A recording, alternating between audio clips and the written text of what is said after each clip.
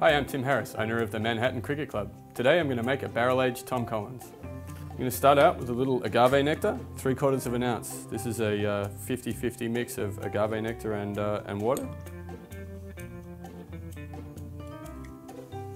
Three quarters of an ounce of fresh lemon juice.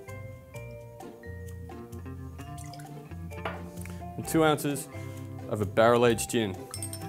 Barrel-aged gin is going to give us a richness and caramel characteristic that's going to play off the natural brightness of a, uh, the juniper in a London dry gin. It's going to give some more complexity to the cocktail.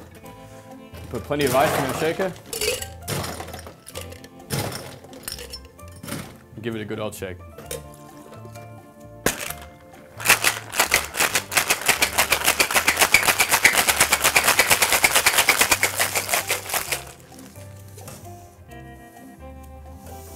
Add a little club soda the tin so that all mixes together.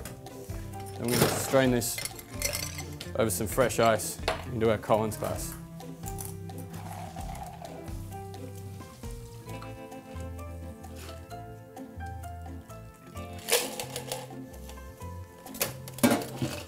Just going to garnish that off with a nice little orange peel.